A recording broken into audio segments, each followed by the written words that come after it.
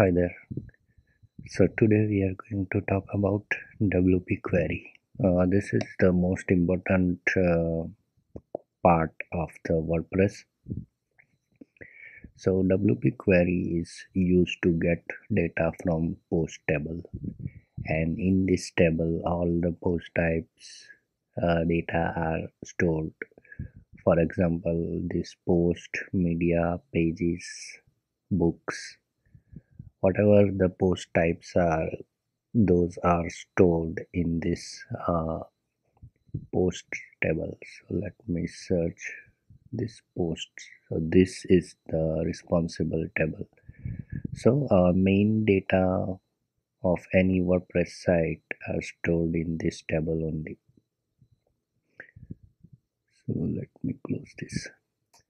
So yeah this is the table. So this WP query uh, is used to get data from this table only. So first of all uh, I made a page called all books because I have a post type called books. And if you don't know how I created this uh, go back to my WordPress playlist. I will provide the link into the description section so I have created uh, all the videos related to uh, the basic stuff we are going to do in this video. So I created a page called all books and uh, I have assigned a template page template uh, called all books over here. And again if you don't know how to create a page template uh, I already created that video um, I will provide uh, necessary links into the description section so that you can go back there and check that again. So yeah this is my child theme and I added this page called allbooks.php and here is the template I created. And currently in this template nothing but the header and footer. So first let's see how it looks like without adding any body. So yeah we just have the header and the footer. Now we we are going to use wp query. So what is the syntax syntax is syntax is very simple. This is a class wp query and we just have to pass argument. So getting data using wp query is only a matter of passing a right argument based on your requirement. So first let's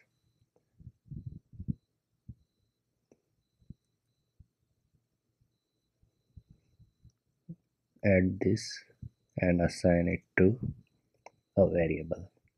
Now we will pass some arguments and it will be in array format.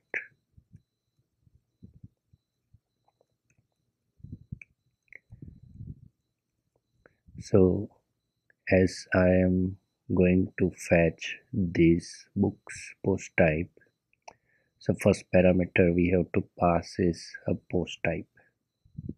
So let's pass post type.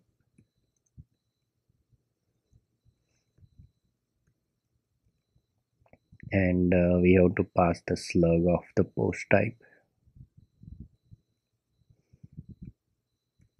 Then posts per page. How many posts we want to display on a single page? So let's say 10 then order by. So by which field we want to order the data of the books? Uh, and the field is from this WP post table. So let me go to structure. So these are the fields. Uh, we can specify for the order by. So let's say I want to order by ID so pass the column name. And in which order? So let's say I want to have a, in ascending order. So it will order the data into the ascending order by the id column. So this is how you can pass argument.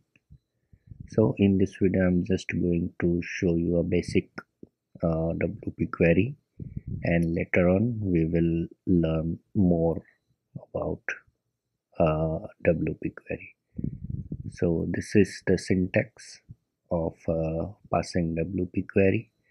It won't uh, display anything because we are just creating a query.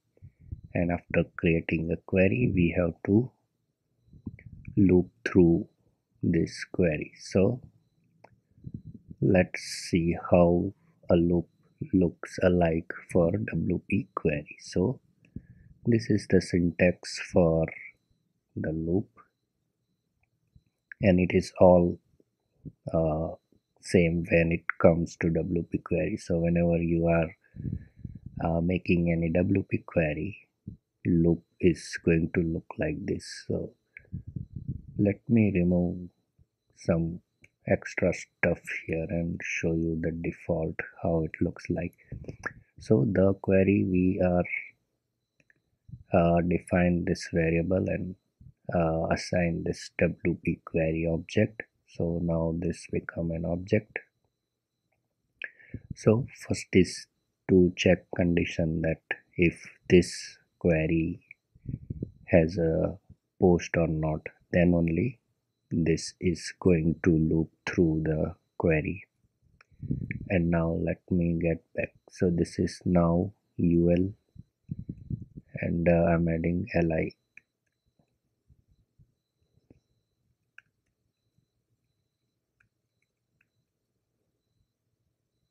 so this is uh, so this is necessary.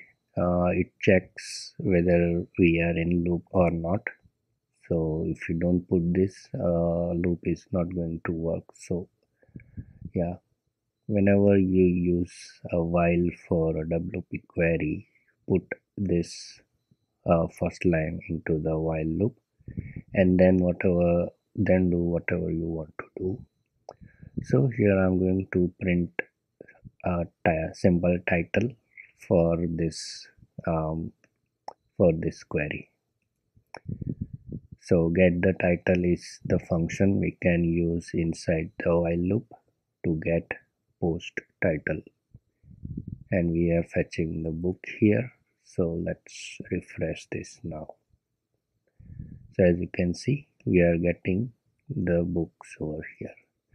Let's print the id as well because we want to confirm that it is ordering uh, in ascending uh, by id so um, i'm gonna add one more get the id get the id is the function by which we can get the ID of the post inside the loop.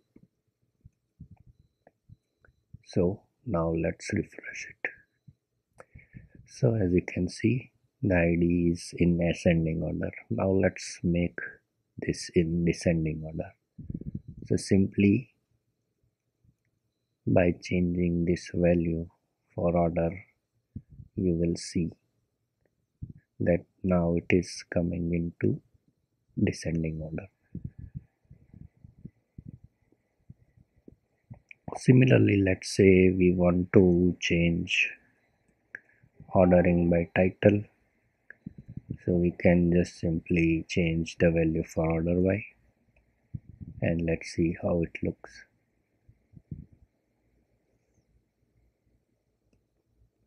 Okay uh, we have uh, all the titles similar but uh, you can see that this is in descending order because in the title it is going to consider this number as well. So what I'm gonna do is uh, let me add a new book start with Z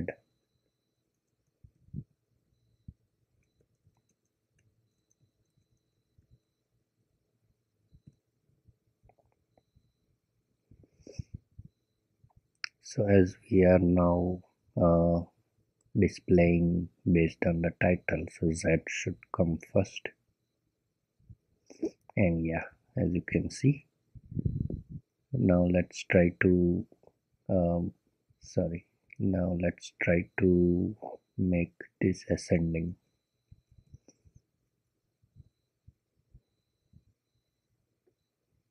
So it should start with B but let's try to add a book called a book. So now it should start appearing over here. Let me try to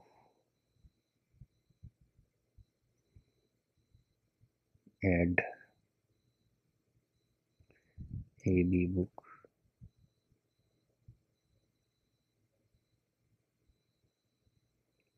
let's refresh this.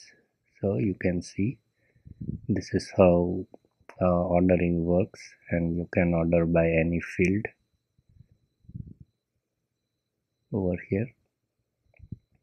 Um, now uh, this one post per page we have passed 10 and it is 10 1 2 3 4 5 6 7 8 9 10 um, so even if we don't pass this it will by default take 10 actually it is taking the setting from here. So here it is a limit of 10 if we make this 5